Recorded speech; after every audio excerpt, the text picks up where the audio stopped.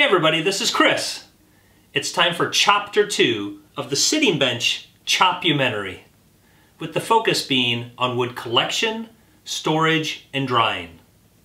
Matt Cremona and I will be collaborating on this, and we'll be looking at both primitive and modern techniques.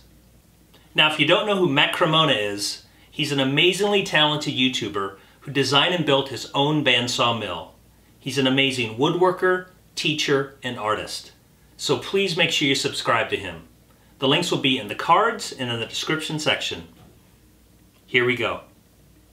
Well, it's time for chapter two of my chopumentary on the sitting bench. I'm here with Matt Cremona. Very oh. famous, infamous, the uh, DIY bandsaw mill. Can't wait to. is probably the best word for it. That's right. That's right. Your reputation precedes you.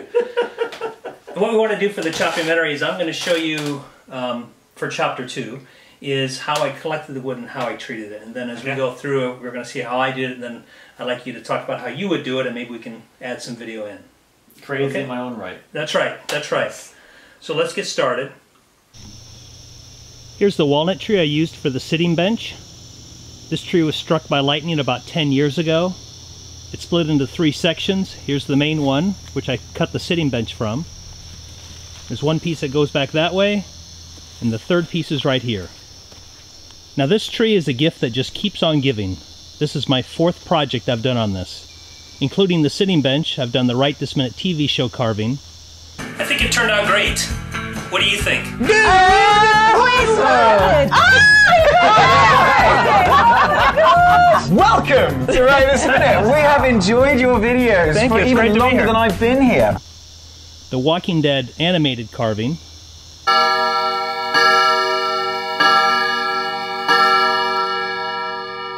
And finally, with a root I took from down there, I did the Japanese saw handle. Well, here it is. You can also note that this hangs over their quad trail, and so I cut off the end there because they're afraid it's going to fall on them eventually. I'll probably just keep on doing projects from this tree until I run out. So while we're on that, how do you normally get your wood? How, where do you find it? Do you have to pay for it? Sure. Um, most of my stuff if you see me cutting it here on my property, it's been like it's urban logs it's from someone's yard uh, throughout the city somewhere. And then the other stuff comes out from my friend uh, Jim's farm. He's got some wooded land on that property. Mm-hmm. So we kind of do the same thing as you did with that tree, where we just go out there and we find things that's already been you know damaged or it's dead already or just you know whatever. It's still good stuff, but it's not going to be living out there. It's just going to rot essentially right. if you leave it out there. So a lot of my stuff comes from out there as well. It's just a fun experience just to get out there and just cut stuff and kind of try and save some some logs here and there.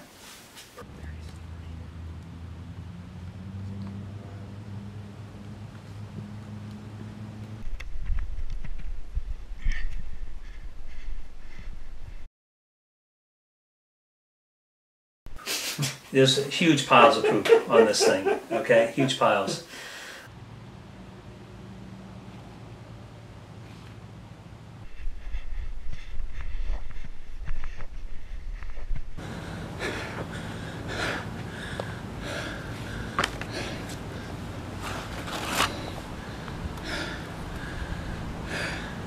So what are the chainsaws that, that you normally use and why do you pick the, the chainsaws that you use? So I use this one as my primary saw, the one I like walk around with for felling. It is a uh, Stihl MS460, it's 77 cc's, and I think it has, it's a good balance between having a, a like a good amount of power, and it's also not super ridiculously big either, so it's not too hard to carry this thing around all day, but it is not a super light saw. So for smaller work, I got this little tiny saw here. I think it's like 45 cc's. It's super light, so you can do all kinds of weird, crazy things with it, and it won't wear you out.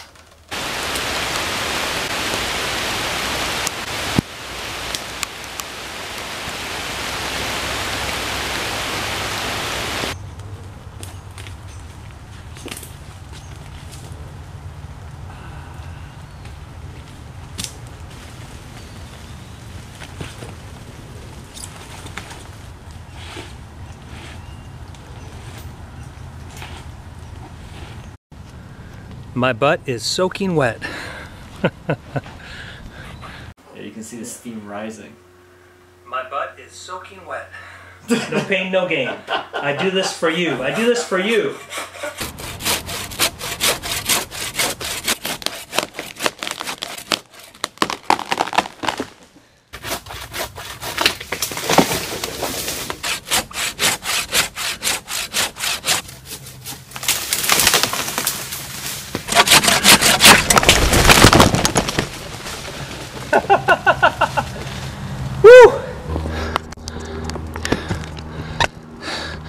How was that for a camera shot?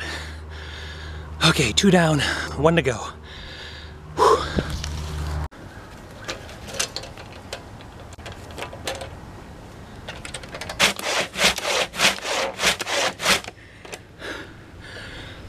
It's a great workout. 175 beats a minute.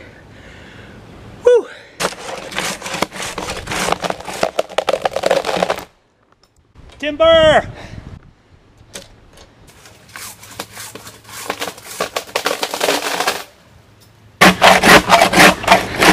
Oh man, I'm really tired.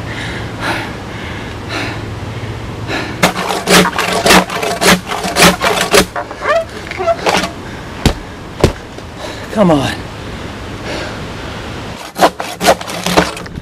Ah! Finally!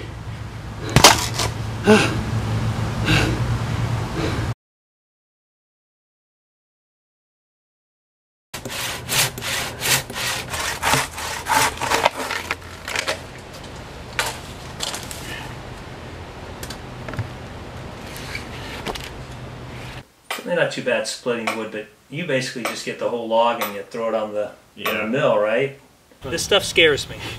I'm scared, I'm not gonna lie, I'm very scared. Chainsaws, power tools scare me. So, I'm so nice. I'm gonna make him cut up this log with this sawmill. I'd rather do it by hand, but if, if since I'm here, I'll do it.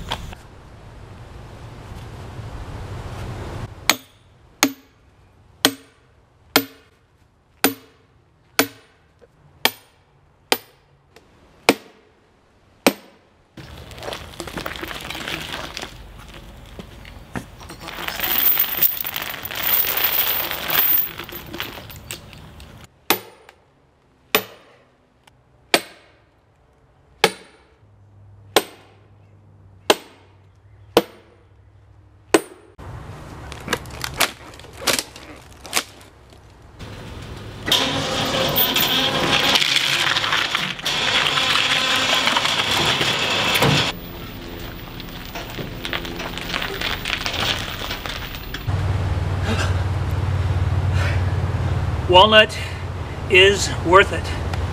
I promise you. Soon to be a sitting bench for my wife, per her request.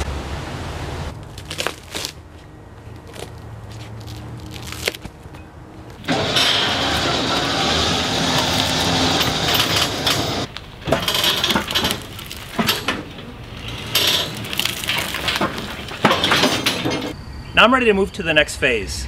I'm going to use my adz and single bevel broad axe to flatten out this half. This other half I'm going to use for the parts. Here we go.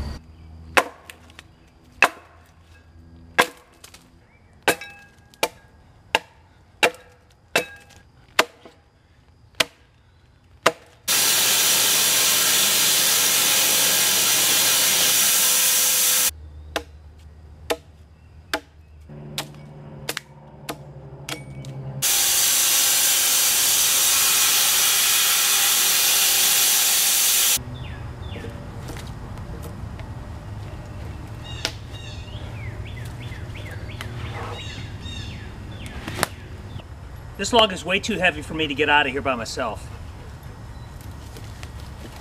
Are you done? Come here. Come here.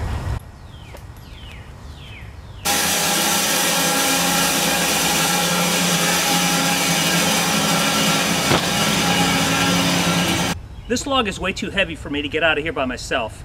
So I've set up this woodland workshop and I'm gonna cut the notches out here. That'll reduce weight and allow me to get it up the hill.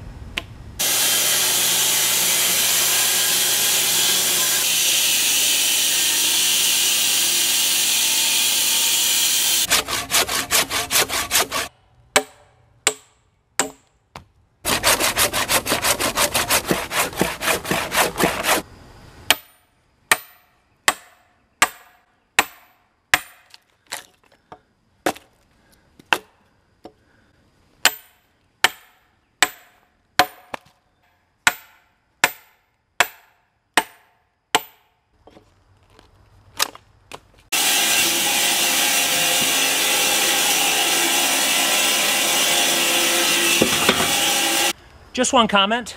There's a knot right here, and I have no idea how it's gonna split. It might split off this way and crack this in half. So I'm gonna saw through the knot before I chop it out.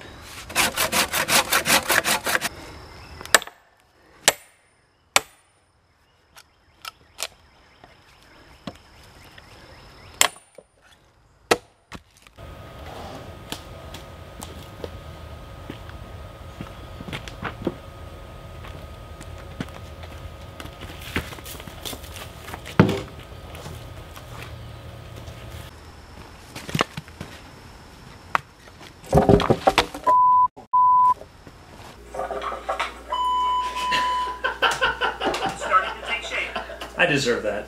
I deserve that. That's just part of the fun. I didn't break any bones, but See, it went too well up to this point. it did. It's, So I you, were, had- you were in for it. exactly, exactly.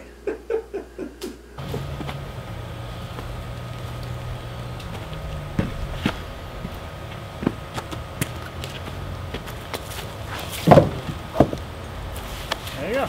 Awesome, man. Thank you. It was awesome. Was this fun? Yeah. I gotta admit, it felt good. A little scary, but it felt good.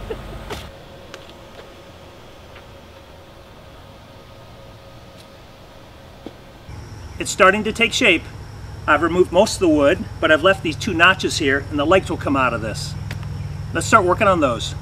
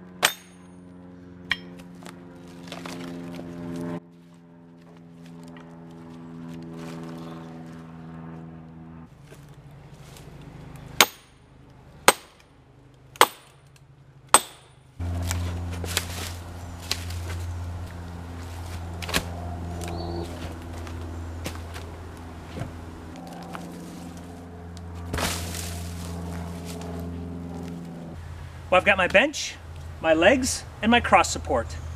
Now I need to take this back to my shop and figure out how to dry it out so it doesn't crack. And then I'll do the fine work. I've got the wood up. You see how I didn't blink there? That's probably that's probably like the tenth time that I did it. You know, I like all the talking stuff. I hate. I hate doing the talking stuff. People give me feedback, but after like ten times, you don't blink. You're just like this. I've got the wood all back in my shop now. Here's the sitting bench top, the cross support, and then the legs are made from the crotch of the tree. I spent the last couple hours cleaning it all up. I used my scrub plane. I'm filming down here!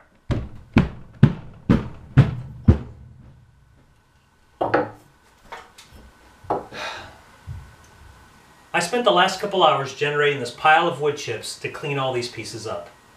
I used my scrub plane, my adze, and my single bevel hatchet. Now I need to get set up to dry this out. I've already anchor sealed the end grains.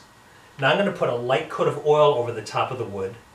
And then I'm going to wrap all the wood in paper and put it inside plastic garbage bags with holes in it. These three things will slow the moisture from coming out, and it should minimize cracking and twisting.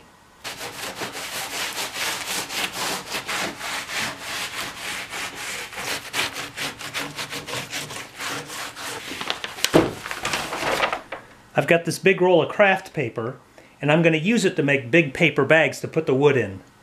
It's very important that you change the paper out every couple days when you first start drying the wood. Otherwise, it'll soak up too much moisture and get kind of nasty. And that's also why you have holes in the garbage bags to let the moisture come out.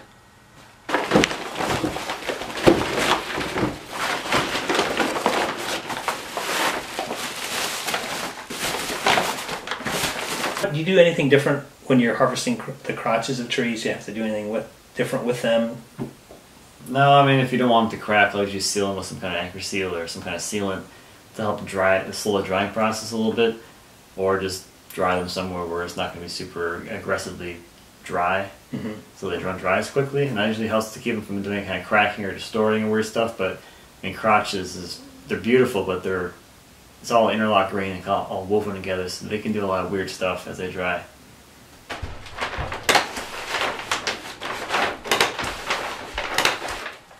All right, I'm all done. Now I'm going to put it aside and let it dry. I didn't want any cracking to happen on the top side of this, so I, because the bottom was sapwood and I wanted the, the moisture to go out through the bottom, so I just treated the crap out of this so it wouldn't have any cracking. But I, like the paper and stuff was probably overboard. But you don't, you don't really do anything that stuff, right? So these are my European style stacks. So this is the stuff. This is the way I dry the bigger stuff, at least initially. This stuff is uh, pretty big, so I try not to move them around too often, since stacking them is an effort in itself. So out here, there's a lot of air air moving through here. Is you know it's kind of breezy on most of the days. So And you intentionally put it in the shade so it doesn't dry too fast? Yep, and it's in the, a nice shaded spot. If you look up, there's a lot of uh, tree coverage here. So that keeps the sun away, which helps to, well, the sun will accelerate the drying process and make it uneven because it'll dry the outside faster than the inside, and um, it's not that great. You end up with a lot more cracking, a lot more drying defects that way. So the nice thing about this process is it's very gentle, but at the same time it's actually pretty quick because there is a lot of air movement just naturally outdoors like this because it's not in a confined space. So if you were to put a stack like this inside like a shed or a garage or something like that where the air is stagnant, you're not going to have nearly the drying speed as you do out here. But at the same time, the air, at least here in Minnesota, isn't super dry either most of the year. So it doesn't dry too quickly. Okay, and how do you, um, any any particular way you stick it? Any particular formula you follow or anything like that? Yeah, so the formula that I use is I have half inch stickers towards the bottom here, so that way the stickers don't contribute that much to the overall size of the stack. Because once these things get up to like this point and you're lifting 300 pound slabs above your head, it's not as much fun. So the shorter I can keep the stack, the better. Um, and out here, the, the sticker size doesn't seem to matter nearly as much because there is so much airflow They don't have to really worry about um, mold or things getting in between the stacks like that. Got so it. So I use a thinner thinner stickers out here so I don't have as much dead space essentially in the stack. And how do you, what, what are the bases? How do those get set up? So the bases are set up on concrete block, kind of like a little foundation kind of thing. I see the spiders have been out here quite a bit. Uh, so I have some concrete block that's sitting right on the on the dirt here. The soil here is very sandy and it's really well compacted already. So I place a layer of uh, solid block on the bottom, and then I use some uh, regular concrete block on top of that to get some height off the ground. So as it rains, you don't have a bunch of like dirt splashing back up onto the slabs. And then I have my little levelers here, which I made that allow me to get all of the all of the columns or the all the bases in the same plane, so that these things are sitting on a flat surface. So that way, with all this weight on top of it, the bottom slab has, let's say, like four thousand pounds or something like that on top of it, holding it down flat to that base. So that way, as it's drying, it's drying perfectly flat, and it's not going to be. It should have less chance of doing anything weird like twisting or cupping or bowing. Okay, Matt, we're down in your basement here. Is there anything uh, unique or special that you do when you bring the wood inside? Like how long has this been in here and why is it in here? Yeah, so right now I'm like, I'm in the middle of a cycle, so I have a bunch of stuff outside that I still have to bring in here and stack whenever I have time to do that, among other things. Um, but it's like the little area in the basement where I do my drying, so I have it all stacked in here. And the basement for me is a really great place to dry lumber. It's really dry down here, and I can control the drying process really easily since it's all indoors and contained. And I can get the lumber down to a workable moisture content. Do you um do you put a fan on it all down here or you just leave it? initially. So the fan is something that I use to control the drying speed. So for the initial drying, if I bring it in freshly sawn, it's got a lot of moisture in it. What you want to do for that is use the fan to get all the surface moisture off as it's coming off, coming to the surface of the board, so you don't end up with mold. It's very easy for stuff to mold if you have too much surface moisture. That's a good place for mold to live. So initially, you're trying to you're dumping all the free the free water from it, all the water that's just sitting there in the fibers of the wood. That's the fast stuff that comes off. It's a lot of it, and it produces a lot of humidity. Um, After that, you have all of the bound moisture, so that's all the water molecules that are bound through hydrogen bonds to the structure of the wood that takes a lot longer to come off. And for that, that's where you kind of need a little gentler process, so I won't run the fan for that. But the surface does stay dry enough, so you don't have to worry about mold at that point. Nice match. I wish you'd have told me that before I stacked the uh, uh, flaming um box elder. Because I got all kinds of mold on it right now. So, It's just surface mold, it'll come right yeah. off. Yeah, it'll come right off. Okay, great. As Matt just talked about, when you first stick fresh cut wood, you want to make sure there's enough airflow to avoid surface level mold, which is exactly what happened to my flaming box elder. Like these crotches I kept in bags for over a month, but I would change the paper out. And for the for the larger pieces, for the large bench piece, I I kind of kept it in plastic bags for like a week. That was, and then I would just keep paper on it and towels, and just so it slows it down. And that's how I did it for the rest of the time. And then maybe after six months, because this project took a year, then Yeah. I then I uh, took the paper off and just left it out. And then it, and after about a year, it got to about ten percent. Nice.